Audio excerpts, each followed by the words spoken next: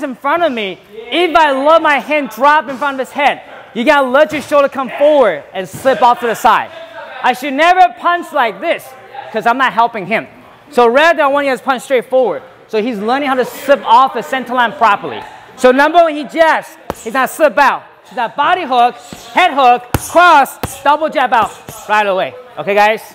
So one more time, jab, slip out right away. Body hook, head hook, cross, move out. The angle is important. When you back up, 45, either to your right or left, you gotta use a double jab to angle out. Because in case I chase you, the double jab is gonna stop my body. You can insert as a distraction. Okay, guys?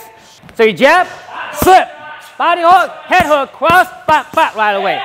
Now all together, you gotta go one, boom, boom, one, two, three, four, five right away. Go out right away. Okay, guys?